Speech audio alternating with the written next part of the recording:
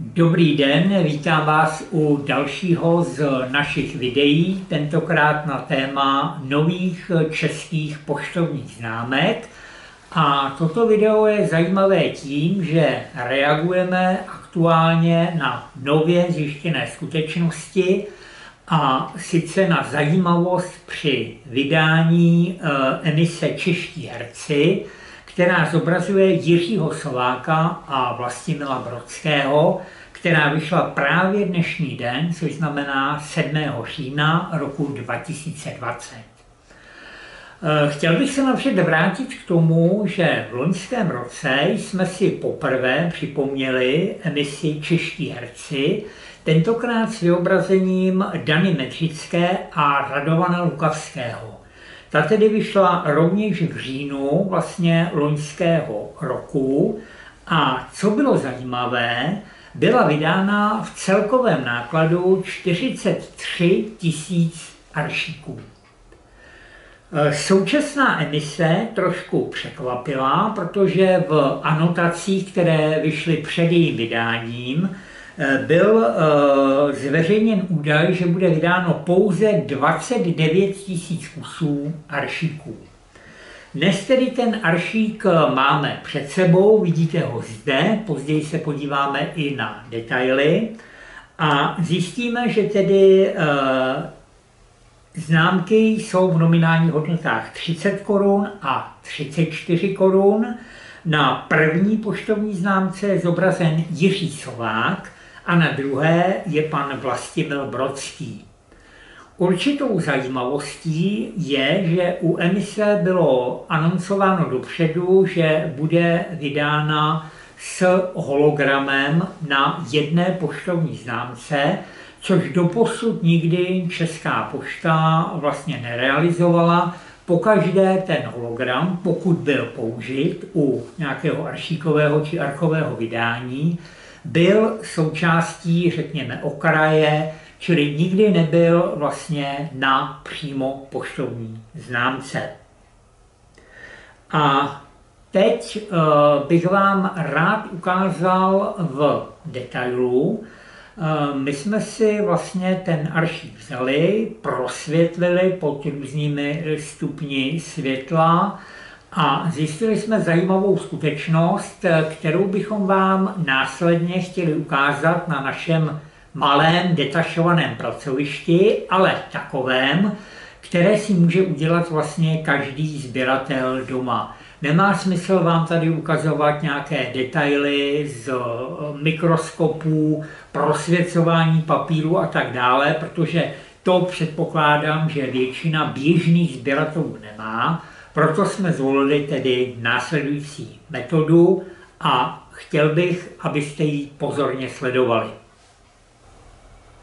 Vítám vás na našem improvizovaném pracovišti. Zkoušeli jsme zvolit takovou metodu, aby ta zajímavost byla patrná pro všechny sběratele a aby si vlastně každý sběratel mohl sám doma ověřit tyto údaje, jestli je to tedy opravdu to, jak to vypadá. Čili stačí nám vzít obyčejnou folii průsvětnou A4, tu nalepit na okno, do ní samozřejmě tedy vložit příslušný aršík eh, lepem směrem tedy, odkud se budeme dívat, tak, aby bylo patrné, co vlastně za tím hologramem v této části známky, co vlastně za ním je. Samozřejmě můžeme použít lupu, zde tedy nám ji nahrazuje kamera, ale v případě tedy, pokud se chcete podívat na detail, tak ji tam můžeme vložit. Nevím, jestli je to tedy patrné. A jak se můžeme podívat, tak vlastně v místě, kde u druhé poštovní známky je letopočet, čili u pana Sováka je letopočet narození a úmrtí, tak vlastně na stejném místě, který nám dnes zakrývá hologram, jsou vidět i obdobné údaje u pana Brodského, čili rok narození 1920, eh, ale co je překvapující, zjišťujeme, že zde je uveden chybný rok úmrtí.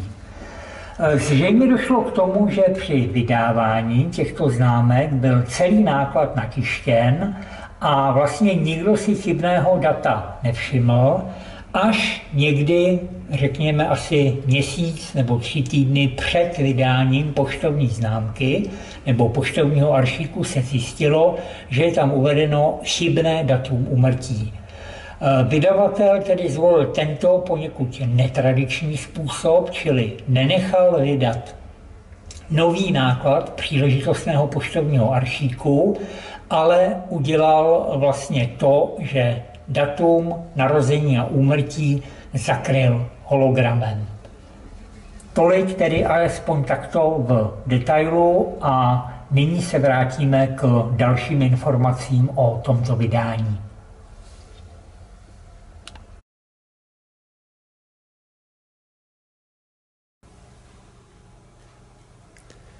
Tedy jsme si již ukázali, eh, co bylo příčinou vlastně vzniku dání hologramu na poštovní známku.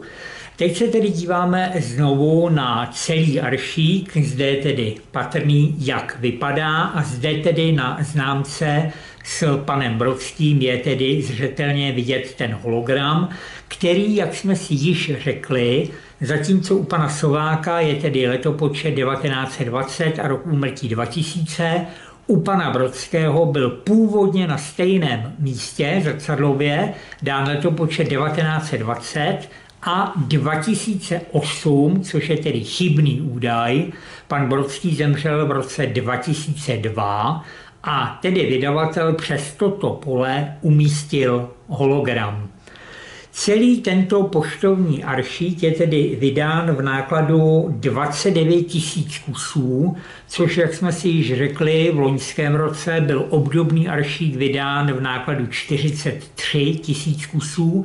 Tento nízký náklad může být svým způsobem výsledkem i toho, že se část třeba hologramů nepovedla a tedy náklad je díky tomu nižší. Eh, současně byly vydány eh, obálky prvního dne vydání v nákladu 2900 kusů každá, čili jinými slovy z toho nákladu 29 tisíc musíme ještě odpočítat 2900 kusů obálek prvního dne vydání. Čili aršík je vydán v poměrně nízkém nákladu. Co bude zajímavé, co je možné doporučit pro sběratele ke sledování, je skutečnost, že teoreticky tento hologram, protože byl dán vlastně až dodatečně, se může vyskytovat různě posunutý doleva, doprava, nahoru, dolů, což by bylo určitě sběratelsky zajímavé. Případně se do budoucna mohou vyskytovat i aršíky, kdyby hologram nebyl vůbec. Tam je otázkou, jestli by šlo o aršíky z původního nákladu, anebo o aršíky, kde skutečně došlo k nějaké výrobní vadě a hologram na ně nebyl z tohoto důvodu umístěn. Takže možná další filatelistické rarity na obzoru. Eh, toto krátké video, dnešní aktuální, bych chtěl jenom zakončit tím, že vám ještě ukáži, jak vypadají obálky prvního dne vydání, vydané k této emisi. Čili zde je první s panem Sovákem, doplněná příležitostným razítkem prvního dne vydání a jakýmsi filmovým pásem na ukázky z některé jeho rolí, z některých. Obdobně vypadá obálka pana Brodského, kde pokud se podíváme v detailu, tak umístíme si ji, opět filmový pás, který vidíme zde v této pozici, zde tedy razítko prvního dne vydání a zde tedy dolepená příslušná známka s hologramem. Teoreticky i u těchto obálek prvního dne vydání může být hologram nějakým způsobem posunut. Jistě by to byla zajímavá filatelistická, zajímavý filatelistický materiál. Takže tolik k dnešní emisi dnes vydané příležitostných poštovních známek emise Čeští herci. Jiří Slovák a Vladimír Brodský a k jejich aršíku se zajímavou vadou při jeho výrobě. Děkuji za pozornost.